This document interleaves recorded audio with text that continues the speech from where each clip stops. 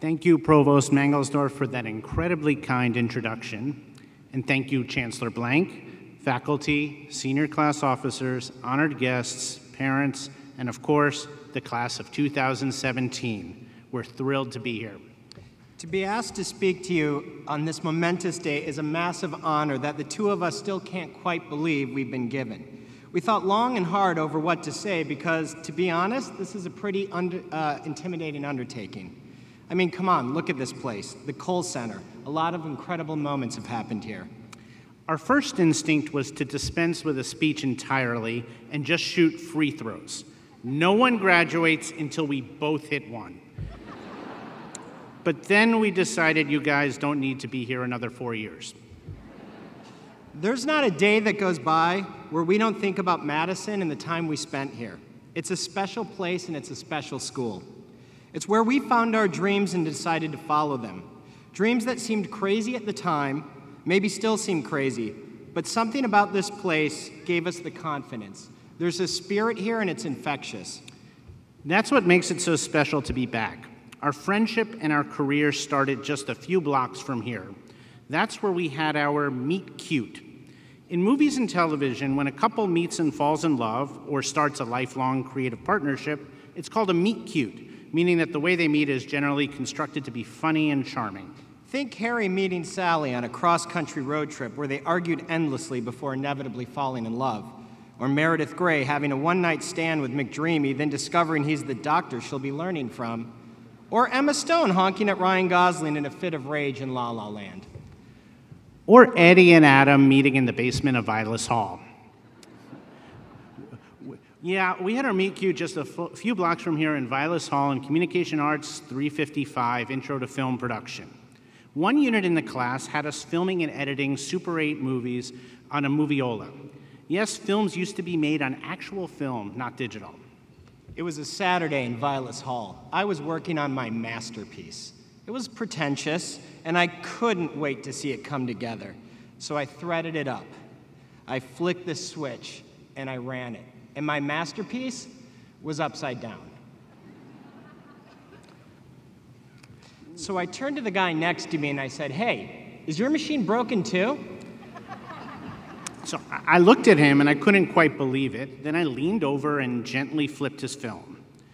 Eddie had threaded it backwards, and with a flick of a wrist, I had solved his problem. I looked at this guy and I thought, he's got something.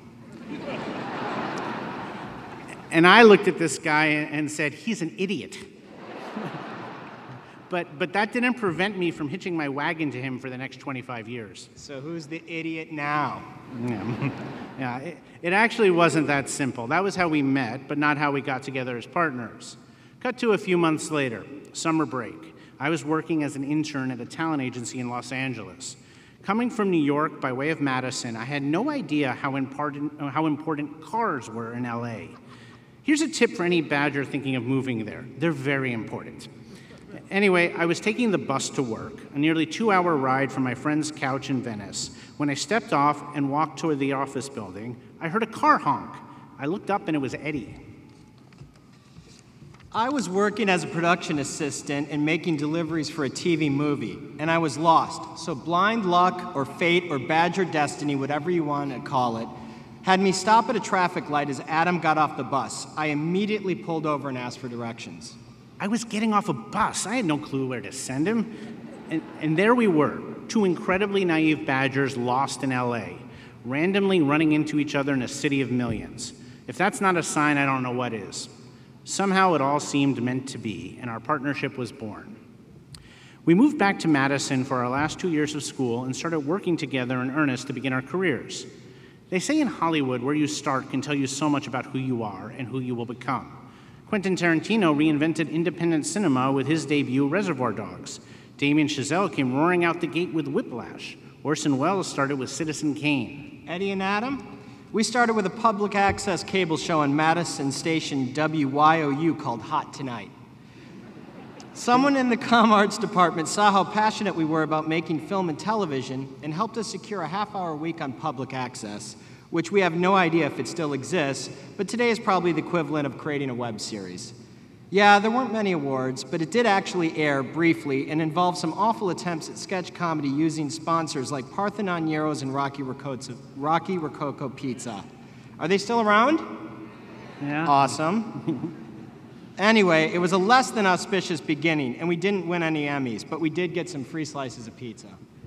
Yeah, we did. But, but more importantly, it allowed us to bring our imagi- imagination to life for the very first time.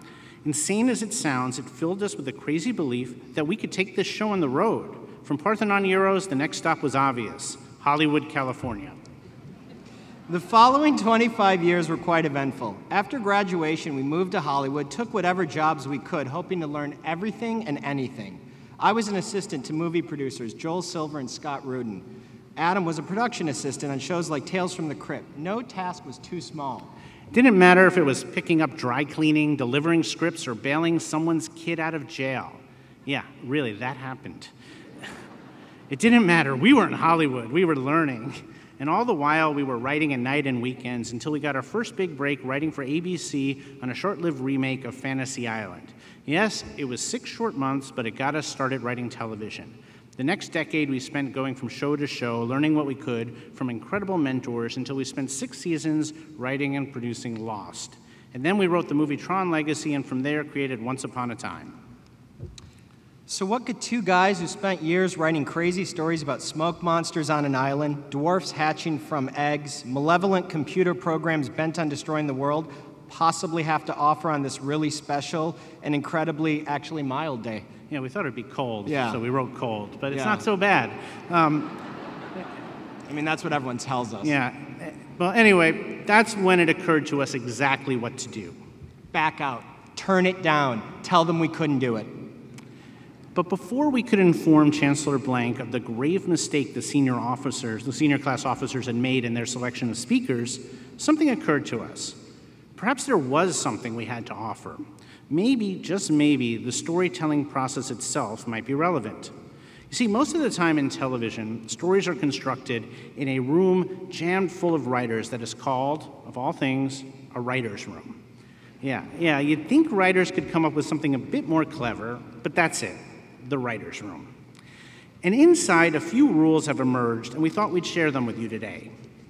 Rule number one don't be a hollow bunny. In the writer's room, we have a saying beware of hollow bunnies. You know how at Easter there are two kind of chocolate bunnies? They both look great, but one when you bite into, it crumbles and it falls apart because it's hollow. It turns out it's cheap. It just looked good. The other one was solid through and through. Well, similar concepts apply to storytelling. For example, when we were coming up with the idea of Once Upon a Time, we knew we wanted to take classic fairy tales and bring them into the real world. But that meant these characters couldn't be one dimensional cartoons, they had to feel like real people. In the animated movie Snow White, the evil queen wanted to kill Snow because a mirror said she was prettier than her. Pretty shallow, right? That's a hollow bunny. We needed to make the queen real, so we created a history for her filled with love and loss and regret and betrayal. And instead of being superficially jealous over her stepdaughter's beauty, we had Snow White destroy the queen's life by betraying her trust as a child. Now both were culpable. Now it was complicated. Now we had something a solid bunny. As we discovered this storytelling truth, we realized it applied much beyond writing. Look inward. Why do you want what you want? What's important to you? Leaving college with a diploma and getting a successful job is great, but it's not enough. Experience life, be well rounded. Career and money aren't everything. Success doesn't mean you're interesting, or more importantly, fulfilled. Characters in movies and television shouldn't be one dimensional, and neither should you. Don't be a hollow bunny. Rule number two don't be afraid to tear down the board. In writers' rooms, stories are carefully and meticulously constructed moment by moment on big dry erase boards that surround the room. It can take weeks or months to do it. So oftentimes you become precious with your work. When writing the pilot of Once Upon a Time, for example, we had what we thought was an amazing opening sequence where characters in the Enchanted Forest were consumed by a terrible curse from the evil queen and banished to the worst place in the universe. Columbus, Ohio. Just, just kidding. We have nothing but respect for our Buckeye brother. And no, we don't. We hate him and we'll get him next year. and we'll get the Hurricanes next week. Go Badgers!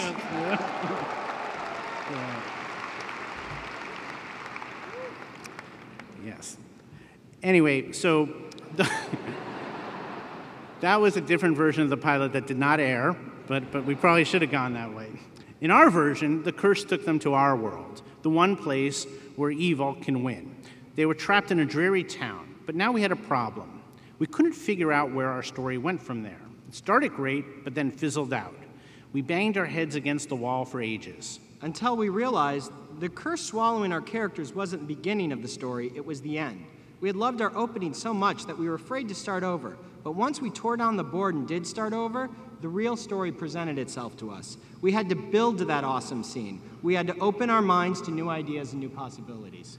Don't be afraid to tear down the board. Don't settle. Life will present you with many paths. Don't be afraid to start over if one is a dead end. You may feel like you invested so much time and energy going in one direction that it feels like a waste to undo your hard work. It's not. Every moment, every choice, every misstep, every mistake prepares you for the next one. But most importantly, that means keeping an open mind. It's easy to get locked into one way of thinking. Divorce yourself of that, and the world will open up to you. And if you do that, you will never stop learning.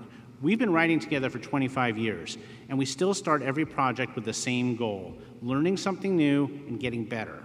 And we try to apply that to every area in our life. Your time in school may be over, but your education is just beginning.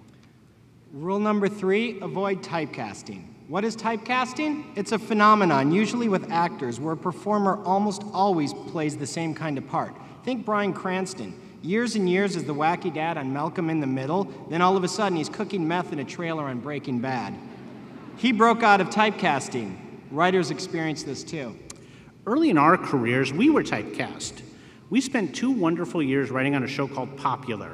It was a high school show about young people and their relationships coming of age. From there, we spent a year writing a show called Felicity, a show about young people and their relationships coming of age. From there, we wrote an episode of One Tree Hill, a show about young people coming. I, I think you get the idea.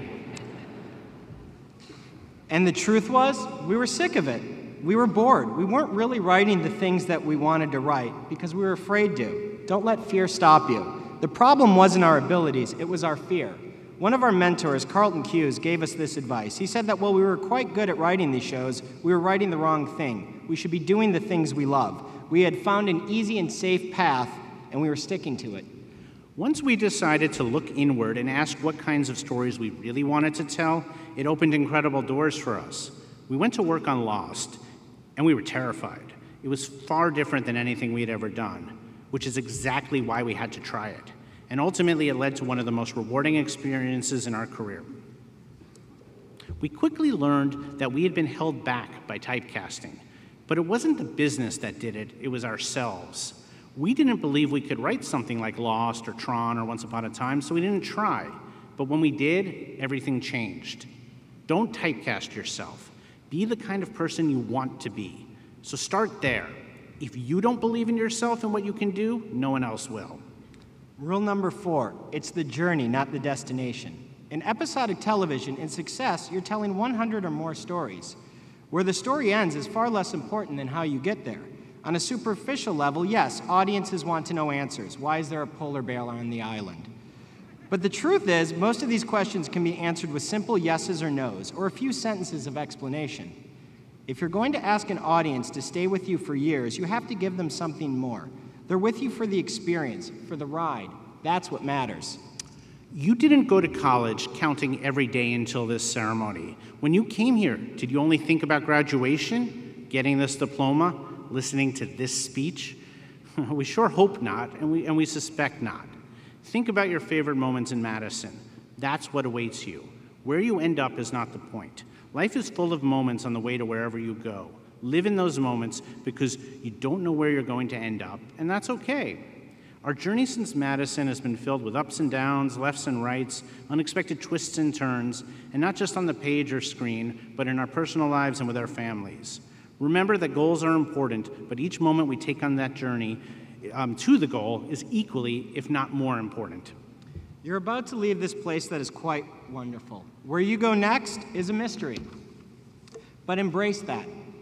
Don't concern yourself as much with what lies at the end of the road because hopefully that's a long way off. The last four years are a microcosm of what's to come. All the fun and achievements and setbacks and reversals of fortune that you experienced, that's the excitement and drama we try to capture on the screen. But it's in your life every day. Don't run away from it. Embrace it, live it, use it.